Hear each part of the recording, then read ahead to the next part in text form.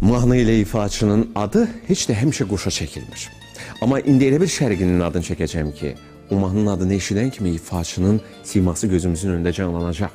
Söhbət Azad bir quşdur mahnısından və onun ifaçısı gözəl xanəndəmiz, mərhum müğənnimiz Səxavət Məmmədovdan gedir. Azad bir quşdum. E, Bəzi mənbələrdə bu mahnı xalq mahnısı kimi təqdim olunur. Bəzən isə Əfrasiyyət Bədəlbəylinin bu mahnını yazdığını iddia edirlər, amma əslində isə bu mahnının müəllifi bizim görkəmli dramaturqumuz, şairimiz və yüksək musiqi duyumu ilə seçilən muğamlarımıza yaxşı bələd olan Cəfər Cabbarlı olub. Bəli, 1905-ci ildə əsəri üçün bu mahnını yazıb və elə alınıb ki, bu mahnı gəlib Əfrasiyyət Bədəlbəlinin yanında zümzümə eləyir.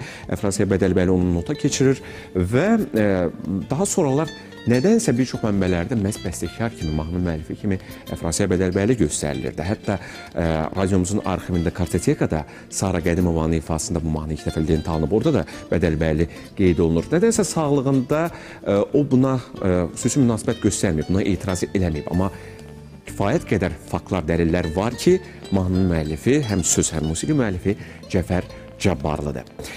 Bu gözəl nəğməni əlbəttə ki, biz Səxavət Məmmədovun ifasında çox sevərək dinləmişik. Məsələ bundadır ki, həm müəllif, həm ifaçı həyatdan nakam getdilər, çox tez köçdülər. Cəfər Cabbarlı dünyasını dəyişəndə 35 yaşı vardı, Səxavət Məmmədovun isə 37 yaşı vardı. Gəlin bu gözəl nəğməni birlikdə xatırlayaq.